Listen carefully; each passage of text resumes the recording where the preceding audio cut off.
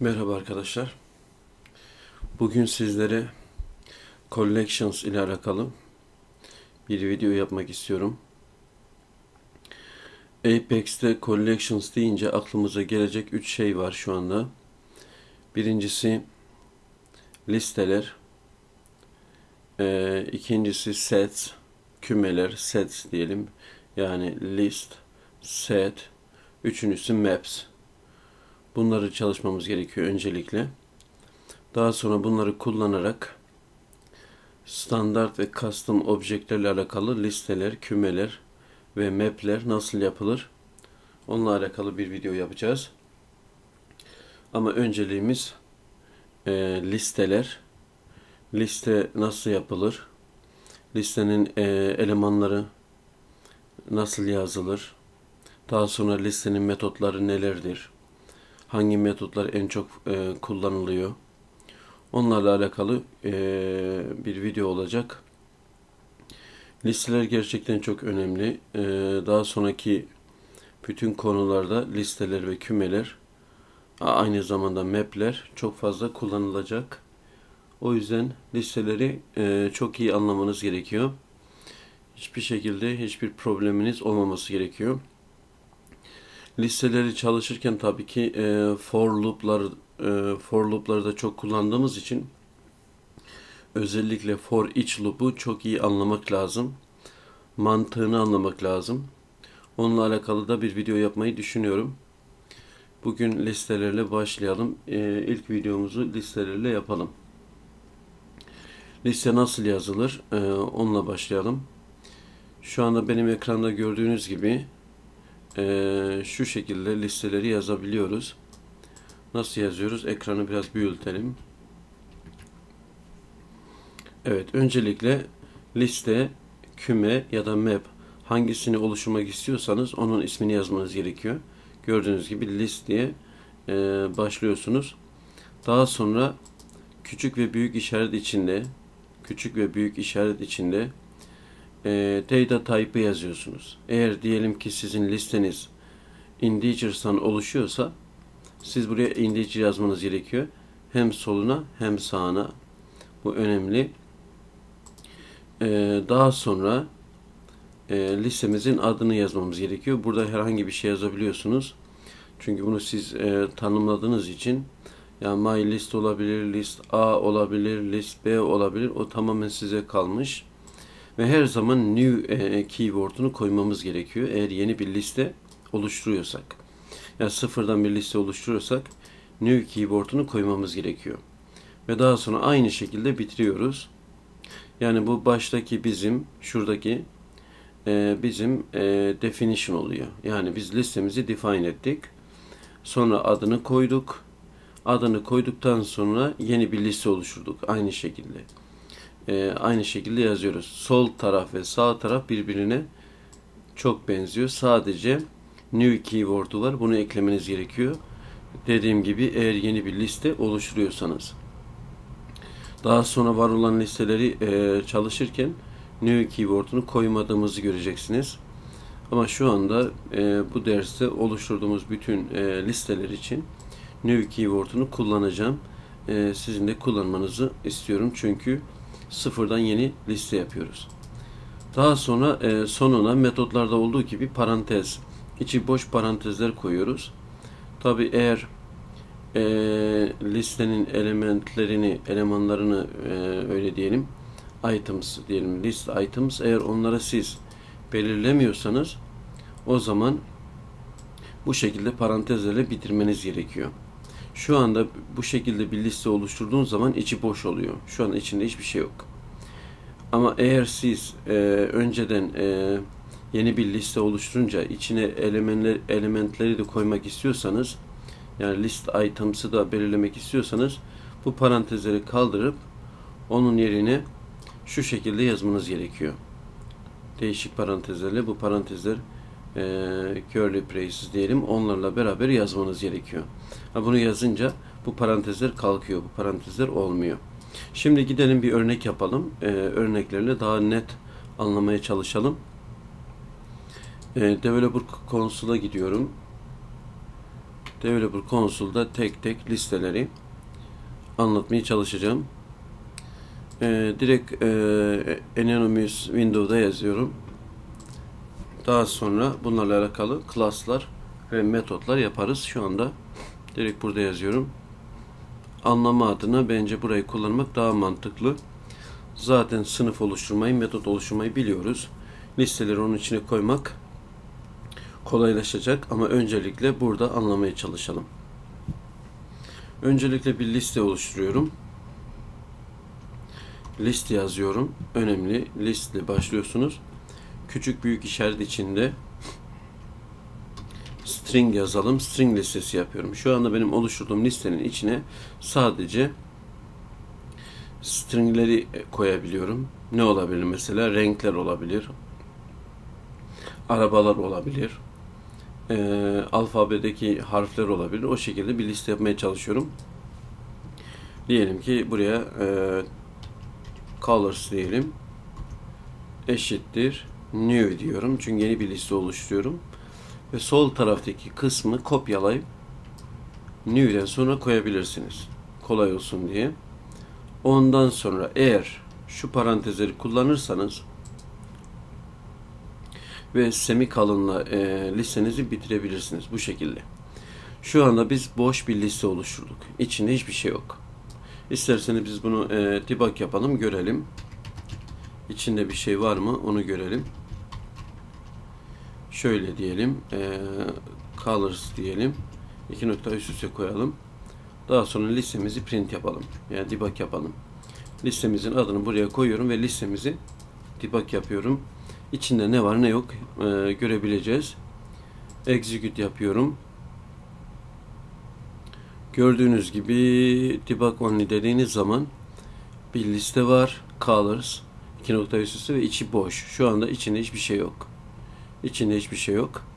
Siz isterseniz e, kümenize element e, listemize e, element koyabilirsiniz. Yani e, list items e, ekleyebilirsiniz. Nasıl ekleyebiliriz?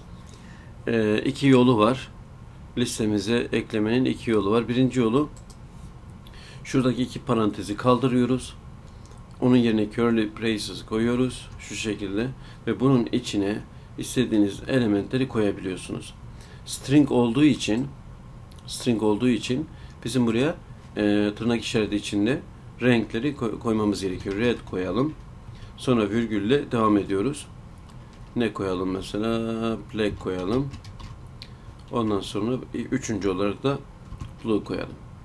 Bu şekilde siz e, kümenizin içine element koyabilirsiniz. Şu anda bizim kümemiz boş değil. Çünkü içinde üç tane e, item'ımız var. Gördüğünüz gibi red, black ve blue şeklinde 3 tane e, elementimiz var.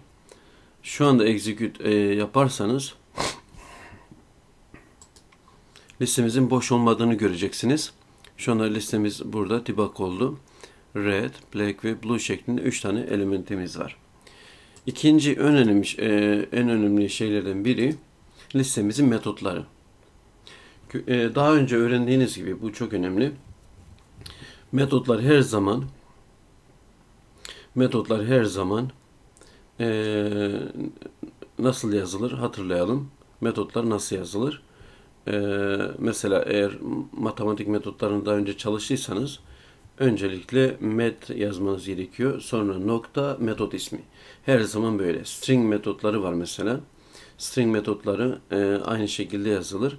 Önce string'in adı yazılır. Nokta metot. Her zaman noktadan sonra ikinci yazdığın şey metot oluyor. Burada da aynı şekilde öncelikle listemizin adını yazıyoruz. Colors yazıyoruz. Nokta. Ondan sonra istediğiniz metodu kullanabiliyorsunuz. Eğer aklınızda varsa e, e, pratik yapınca zaten hepsi aklınızda kalıyor.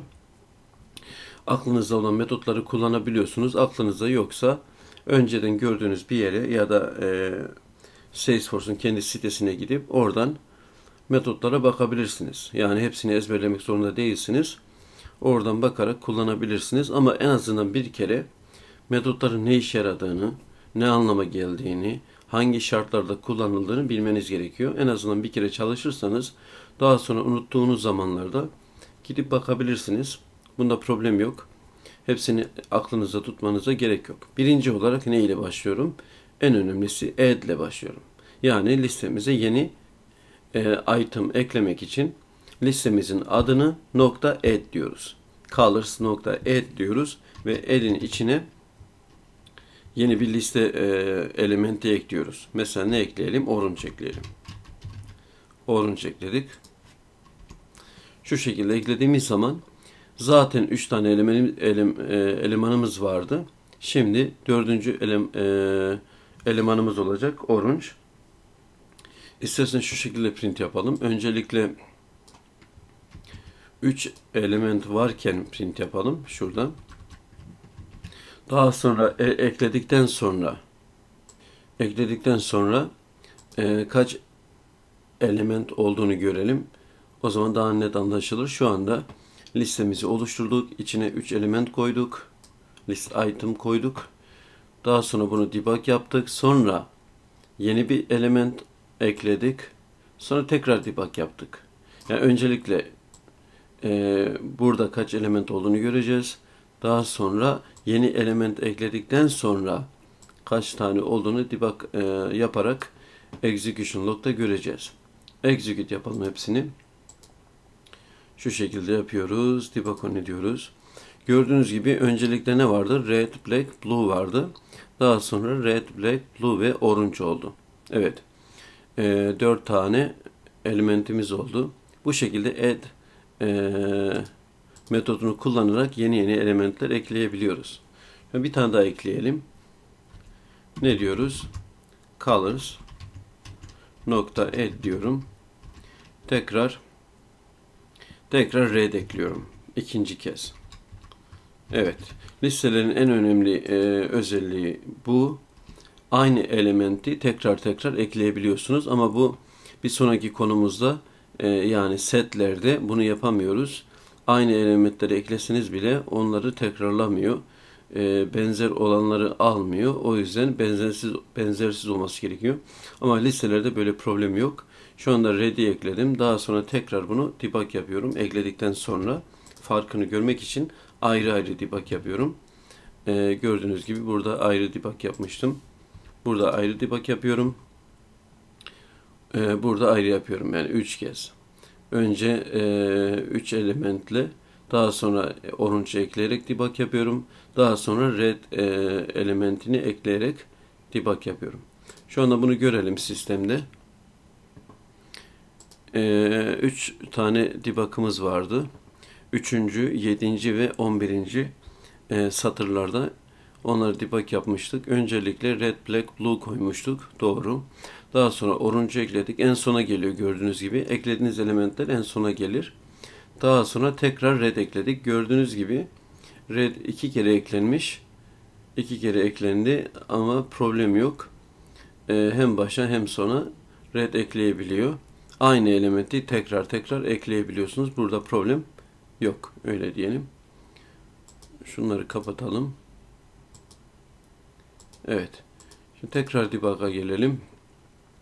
Şu anda gördüğünüz gibi e, add metodunun çalışmış olduk. Bir sonraki en önemli metodumuz size metodu. Şimdi ben e, benim e, listenin kaç elementi olduğunu görmek istiyorum. Onu yapmak için de size kullanıyorsunuz. Şöyle yapalım. Debug yapalım size'ı. System diyoruz. Debug diyoruz. Diyelim ki size of the list diye list şeklinde e, debug yapmak istiyorum. Aynı şekilde plus yapıyorum. E, öncelikle listemizin adını koyuyoruz. Colors nokta size diyoruz ve size'ın içine hiçbir şey e, metot olduğu için e, parantezlere ihtiyacım var ama içine içine hiçbir parametre koymuyorum. Bu şekilde size'ını bulabilirsiniz. İçine hiçbir şey koymuyorsunuz ama bu parantezleri unutmayalım. Bu bütün metotlarda var. O yüzden bu şekilde ekliyorum. Add'de de vardı ama add'in içinde parametre vardı. Yani yeni bir liste, yeni bir element eklediğimiz için onun adı vardı. Ama size'a herhangi bir parametre geçmediğimiz için içi boş oluyor. Bu şekilde print yaparsanız listenin kaç elementi olduğunu göreceksiniz. Şöyle yapalım. Bunu e, her zaman ekleyelim. Öncelikle burada ekleyelim. 3 elementimiz varken sonra orange ekledikten sonra sonra rd ekledikten sonra 3 kez ben bunu ne yapıyorum? Print yapıyorum. Gördüğünüz gibi 3 kere print yaptım. İlk başta bize 3 vermesini bekliyoruz. Daha sonra orange eklediğimiz için bize 4 verecek. Daha sonra red eklediğimiz için bize 5 verecek. Bunu execute yapalım. Evet. Debug only'e bakıyorum. Gördüğünüz gibi benim listem ilk başta böyleydi. Red, black ve blue. E, size of the list ne diyor? 3 diyor. Daha sonra orange ekledik. 4 oldu. Red ekledik. 5 oldu. Bu şekilde size'ı kullanabilirsiniz. Şu ana kadar iki tane metot e, çalışmış olduk. Birincisi add, ikincisi ise size. Bunlar önemli metotlar. Bunlar aklımızda kalsın. Üçüncü metodumuz ne? Üçüncü metodumuz e, daha önce ben e, çalıştıklarımı buraya koymuştum. Buradan e, unuttuğum zaman gelip buradan bakıyorum. E, gördüğünüz gibi şu ana kadar e, size burada size'ı kullandım. E, size'dan sonra neyi kullandım? Get metodumuz var. Get metodumuzla biz e, herhangi bir e, şöyle yapalım, burada yapalım. Get metoduyla siz herhangi bir e, list item'ı alabiliyorsunuz. Mesela şöyle diyelim. E, bunların bütün elementlerin indeksleri var. Siz indeks yardımıyla e, elementlerin e, değerlerini alabiliyorsunuz. Yani red, black, blue hangi değeri verilmişse onları alabiliyorsunuz. Ama indekslerimiz e, her zaman sıfırla başlar. Yani red'in indeksi sıfırdır. Black'in indeksi e, birdir. Blue'ninki 2'dir. E, orange eklediğimiz için bununkisi 3 olacak. Red eklediğimiz için bununki de 4 olacak. O şekilde. Şuradan da görebilirsiniz. Red 0, Black 1, Blue 2, Orange 3, Red 4. İndeksler bu şekilde sıfırla başlıyor. Burada yanılmayalım. Ee, Red e, burada mesela 5. sırada olsa bile 4. indekse sahip. Siz şu şekilde e, e, çağırabilirsiniz. E, list items'ların değerlerini alabilirsiniz. Burada kullanmanız gereken metot get metodu. Şöyle yapalım. System nokta debug diyelim. Ondan sonra ne diyelim? Ee, şöyle diyelim. The fourth ya da third third element element of the list diyelim ve onu alalım. Şu şekilde alalım. Nasıl alıyoruz? Plus diyorum.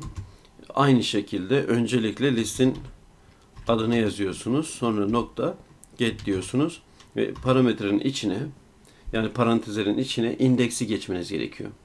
Bizim üçüncü elementimiz ne? Üçüncü elementin indeksi 2'dir. Bunu hatırlayalım. Yani şurada en son benim e, listem burada. Üçüncü elementim blue ve bunun indeksi 2. O yüzden ben 2'yi çağırmam gerekiyor. Bu şekilde 2'yi çağırabilirsiniz. Bunu execute yapalım. Bakalım e, bizim üçüncü elementimiz neymiş?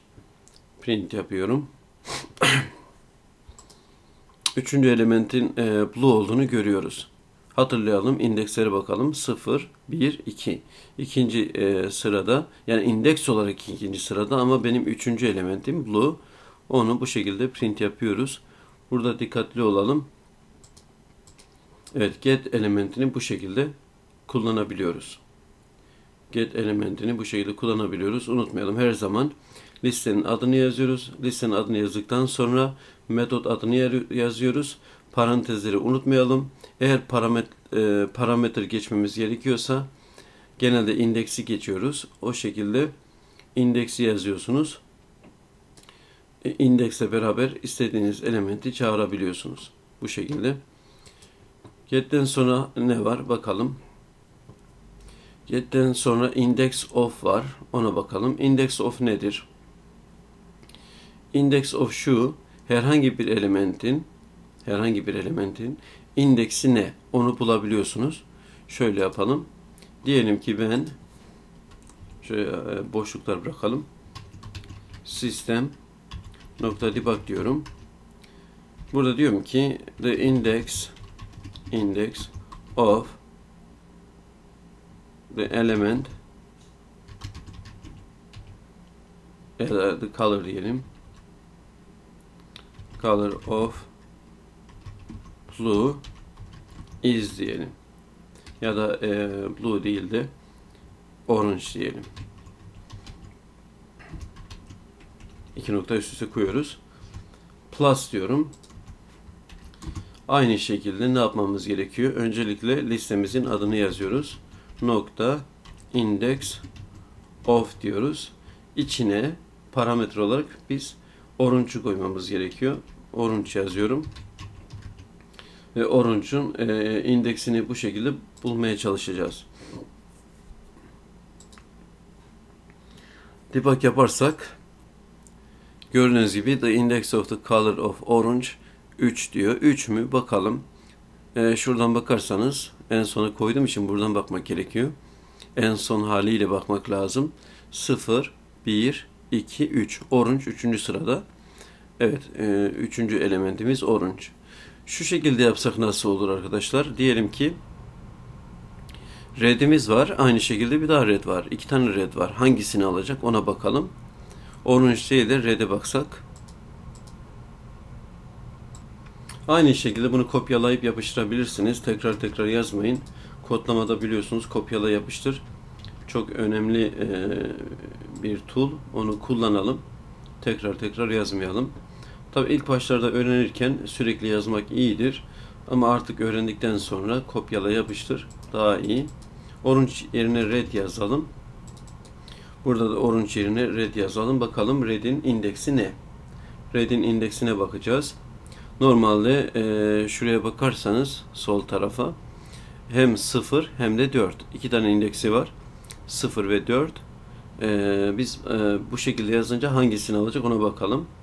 Execute yapıyorum ve e, red'in indeksine bakıyorum.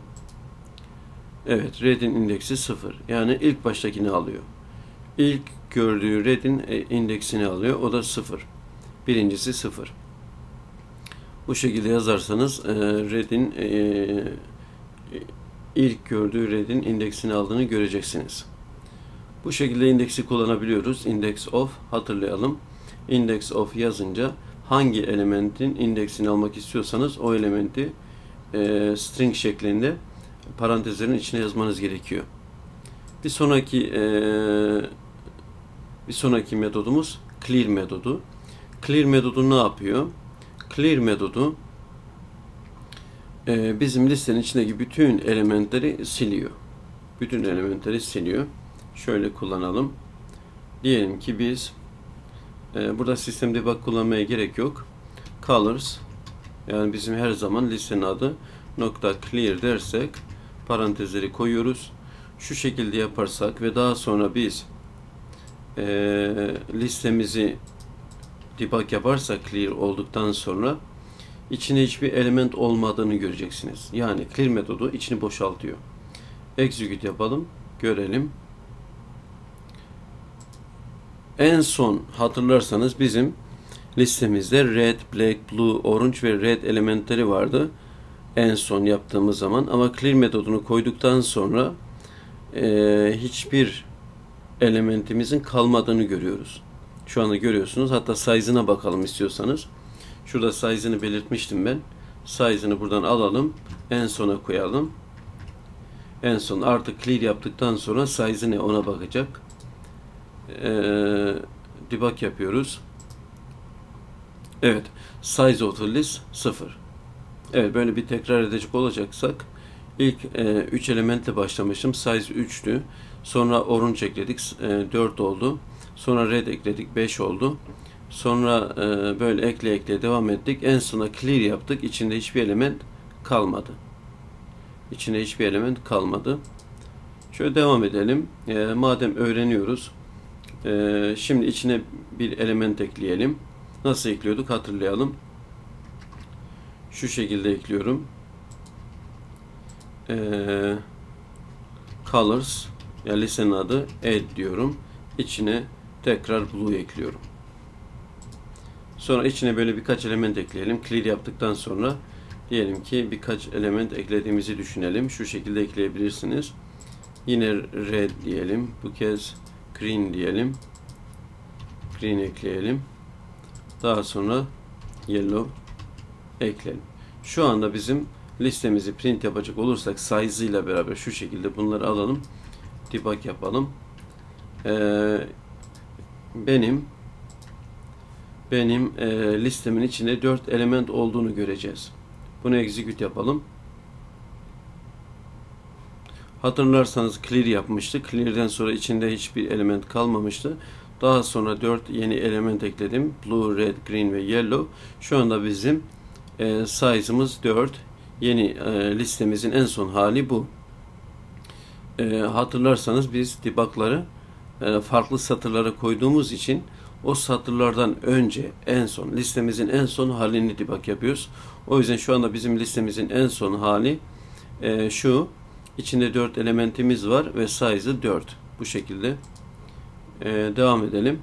Sa e, size ondan sonra add e, index of ve get bu metotları tekrar tekrar burada çalışmış olacağız.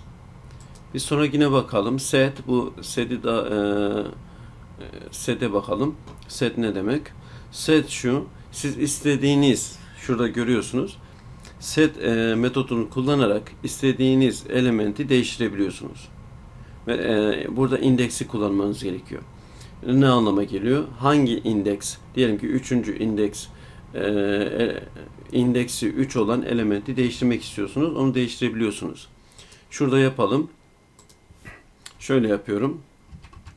Diyelim ki ben e, yine liste adıyla başlıyorum. Set kullanıyorum. Diyorum ki şu anda görüyorsunuz benim elementler şunlar. En son hali clear yapmıştık. Daha sonra 4 element eklemiştik. E, blue, red, green ve yellow diye 4 tane elementimiz var. Ben green'i değiştirmek istiyorum diyelim. Green'in indeksi ne? 0, 1, 2. Şu anda 2. 2 yazıyorum ve bunu diyelim ki ne ile değiştirmek e, istiyorum? E, gray ile değiştirmek istiyorum.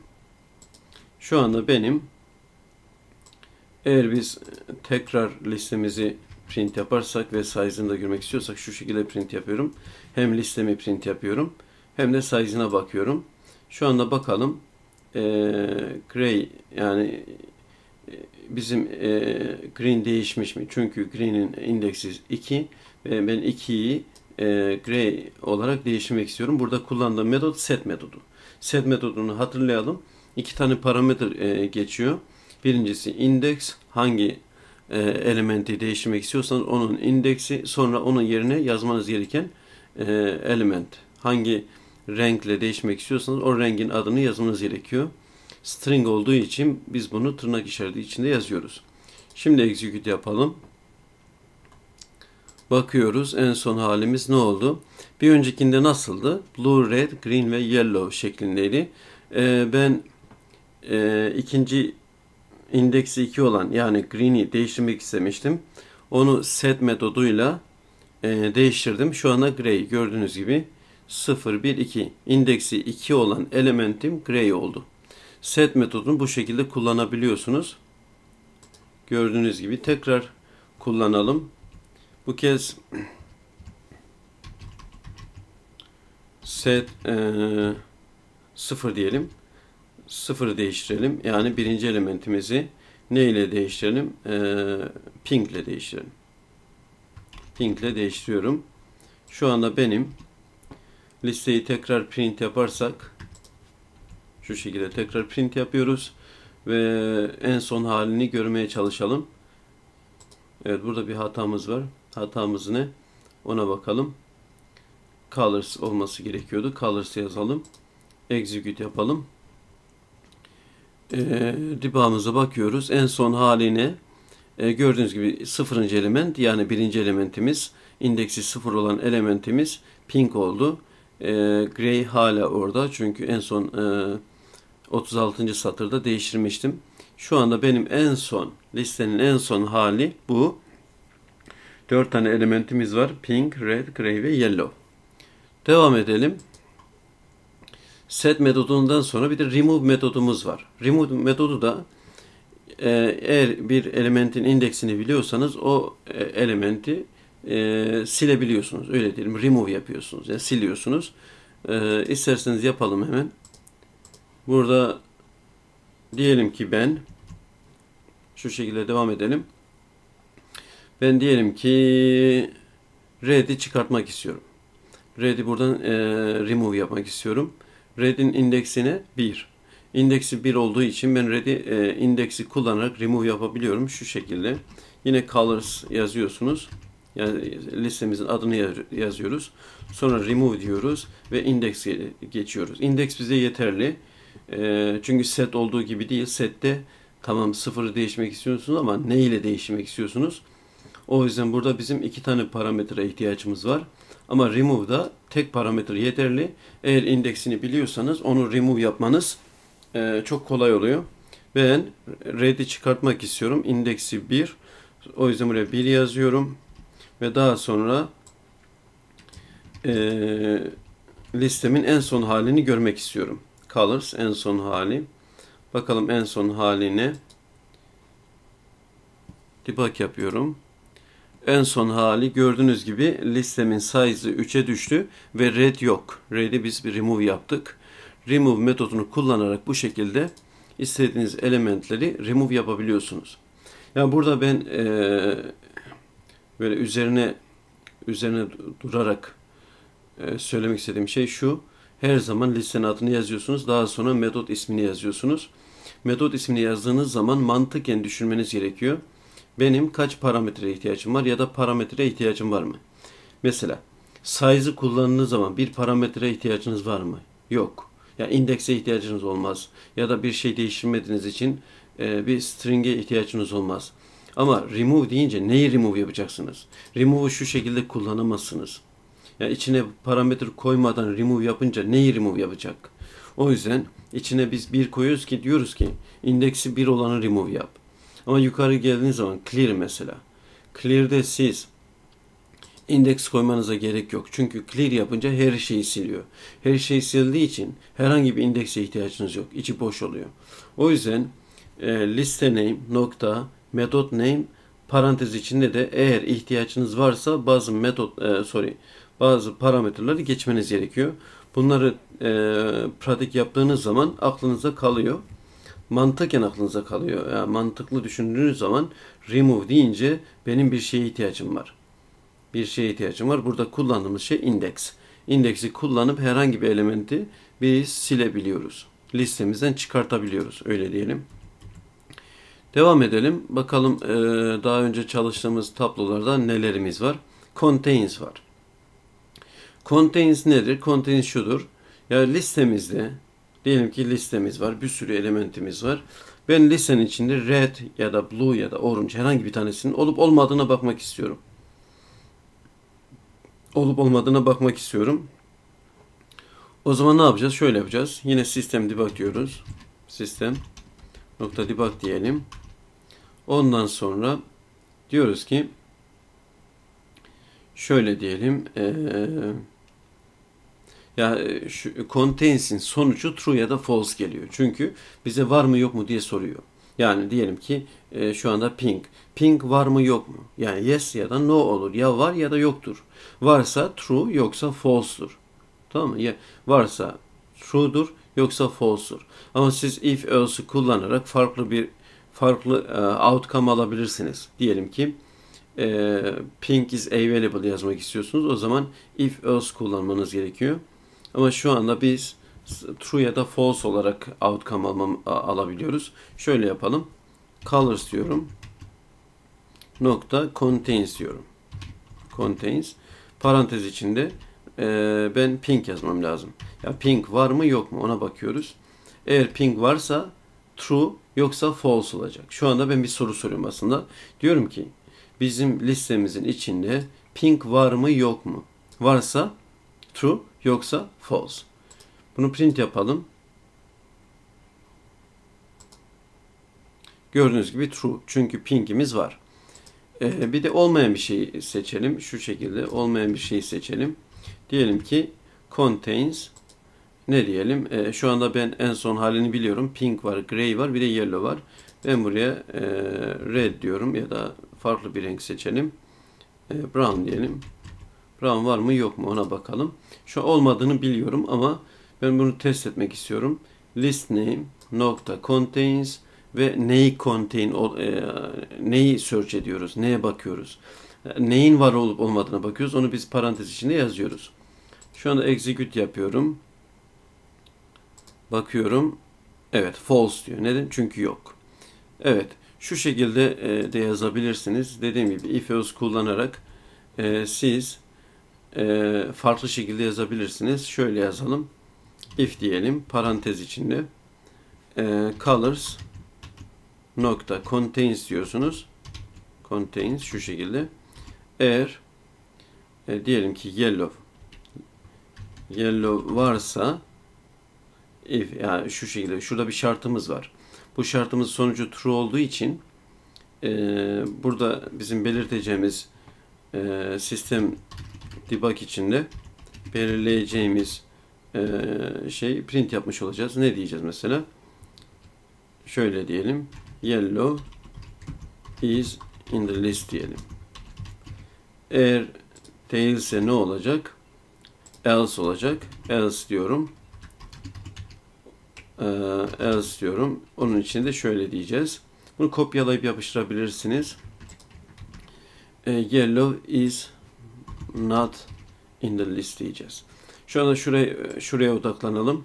Colors contains yellow.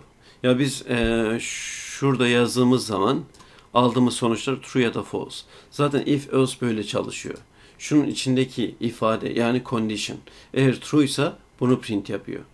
Değilse bunu print yapıyor. True değilse yani eğer şuradaki ifade false ise o zaman bunu print yapıyor. Bunu execute yaparsak şu şekilde gördüğünüz gibi yellow is in the list diyor. Neden? Çünkü çok açık e, yellow var mı bizim liste? Var. Madem öyle e, if'in içindeki condition şartımız bize true olarak döndüğü için e, yellow is in the list diyor. Bunu aynı şekilde böyle kopyalayalım. Aşağı doğru yapıştıralım. Bu kez yellow demeyelim. Black diyelim. Listemizde black var mı? Yok. Listemizde black olmadığı için if'in içindeki condition bize false olarak döneceği için false olarak döneceği için hatta şurada bakalım. Ee, şurada bakalım bizim black var mı? Onu da görelim yukarıda. Eğer false ise burası false olacağı için bana ikinci yani else'in içindeki e, statement'ı e, debug yapacak. Bakalım execute yapıyorum Evet, üçüncü sırada e, ben plug'i kontrol etmiştim. Contains yani var mı yok mu? False. False olduğu için ne diyor? Plug is not in the list diyor.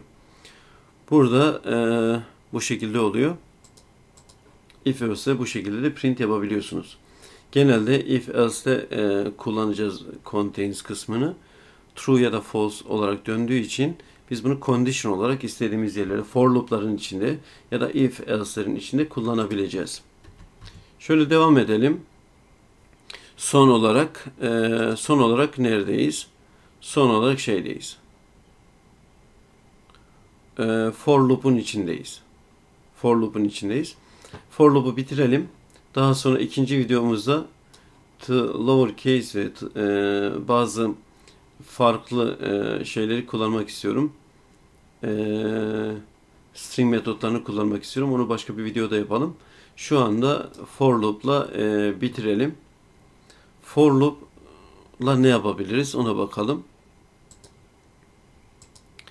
Şu anda gördüğünüz gibi biz e, bütün elementlerimizi tek e, tek satırda listenin içinde görebiliyoruz.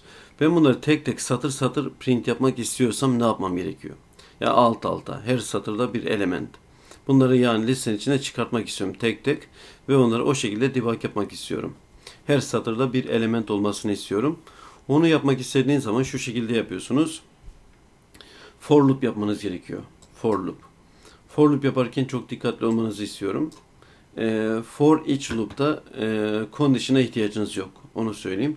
For loop'ları çalışacağız. Onunla alakalı bir e, video yapacağız ama burada sadece for each loop'u size kısaca anlatmak istiyorum.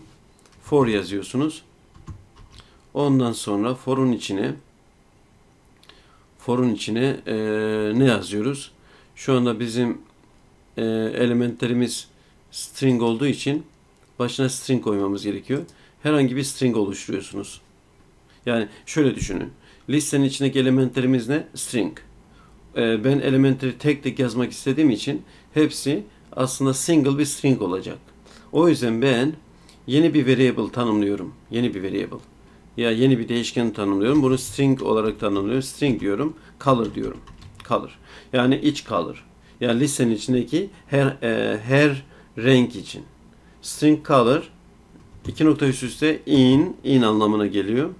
Yani şöyle listemizin içindeki her renk öyle düşünün. Siz e, listemiz içindeki her renk burada listemizin adını yazıyoruz. Colors yazıyoruz. Bu şekilde yazarsanız tekrar ediyorum. Bunun manası şu. String color in colors. Şurada bir değişken tanımladık. Bu değişken colors'ın içindeki her renk renge hitap ediyor. Bu değişken sayesinde biz for loop yaparak listemizin içindeki bütün elementleri tek tek alt alta sıralandırabiliyoruz. Şu şekilde devam edelim. Şu şekilde yapıyoruz. Nasıl yapıyoruz? Ee, color'ı print yapmamız gerekiyor bizim. O yüzden şöyle yapabilirsiniz. Color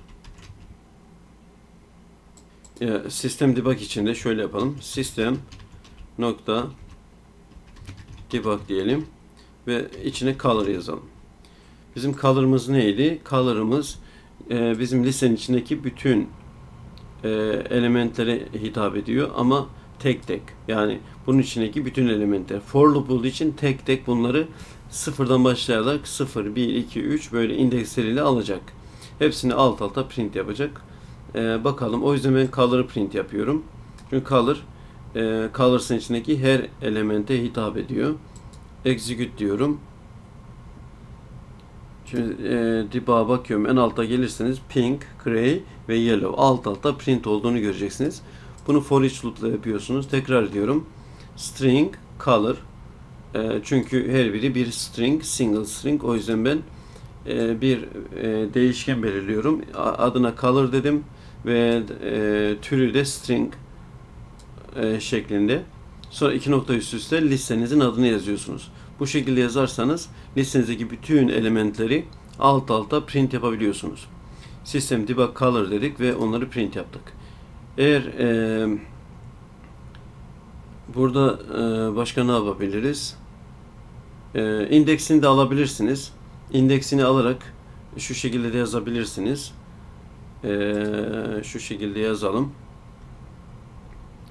Diyelim ki Nasıl yazalım? Şöyle yazalım. Color, e, colors diyelim. Colors diyelim.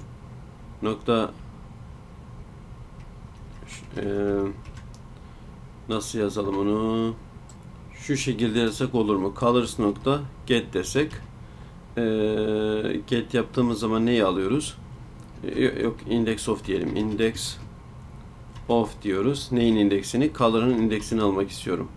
Colors bizim listemizin adı. Yukarıda belirlemiştik.